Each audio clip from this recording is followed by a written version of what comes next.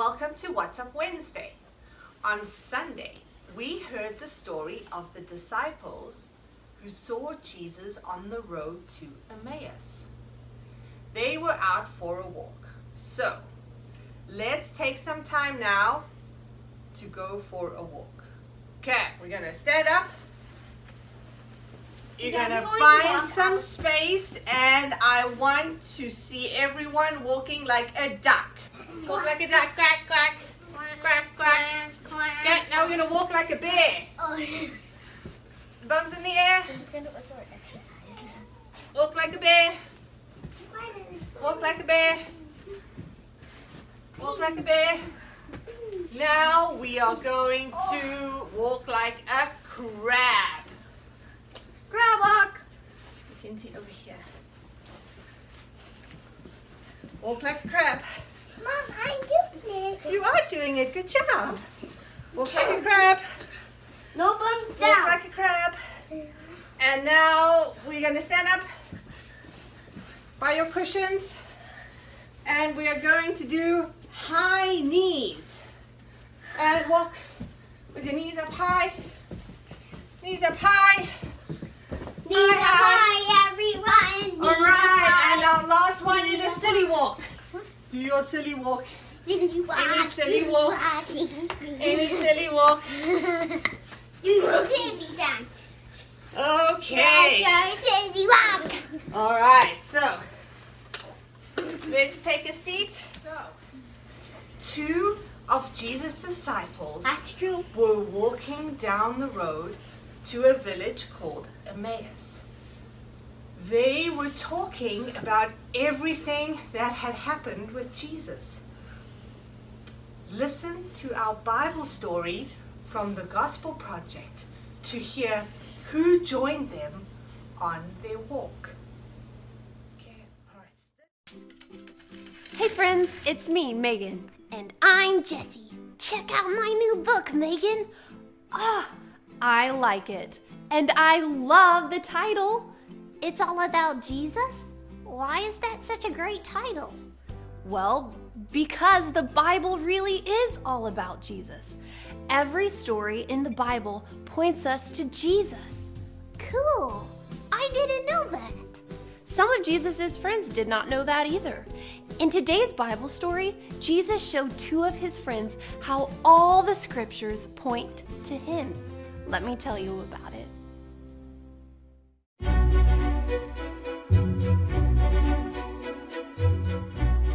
On the day Jesus rose from the dead, two of his friends were walking down the road to a village called Emmaus.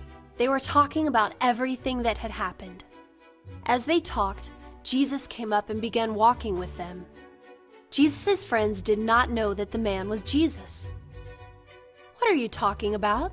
Jesus asked. The friends stopped walking. They looked sad. One of them said, Are you the only person who doesn't know what has happened? The friends told him about Jesus.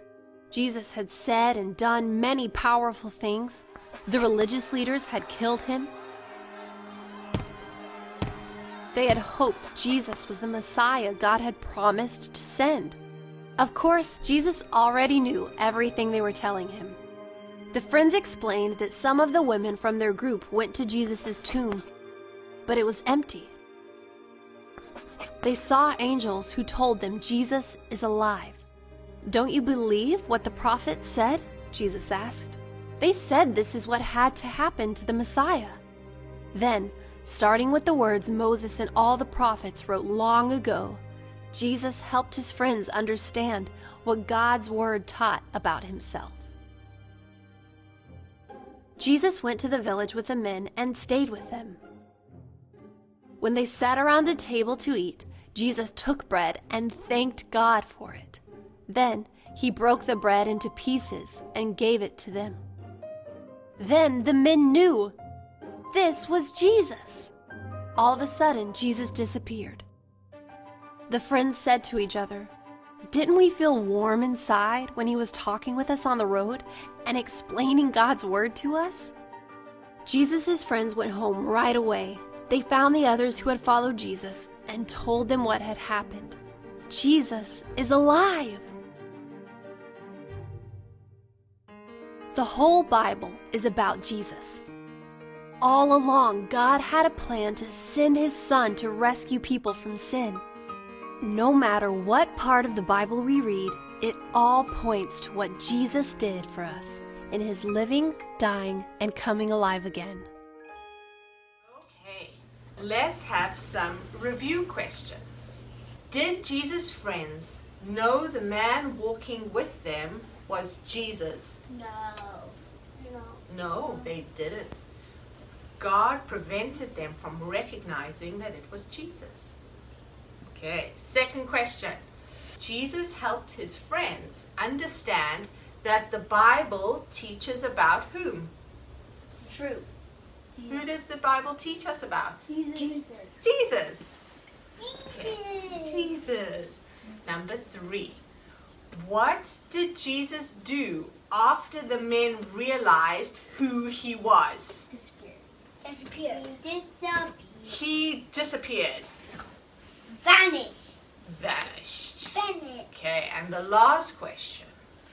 What did the men do after they realized they had been with Jesus?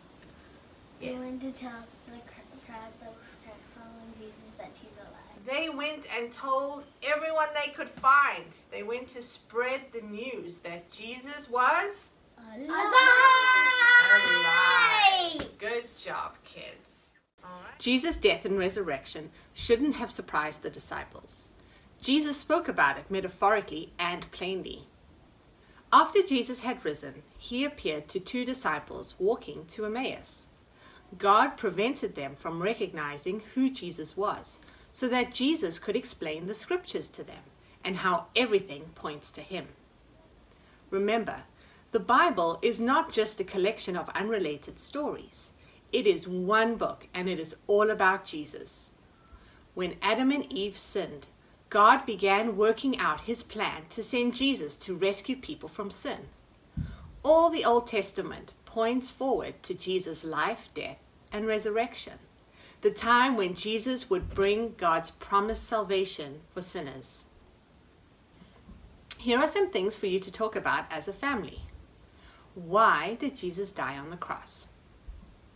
And also the fact that Jesus taught that all scriptures point to him. I hope you have a great rest of the day, and we'll see you next week. Bye.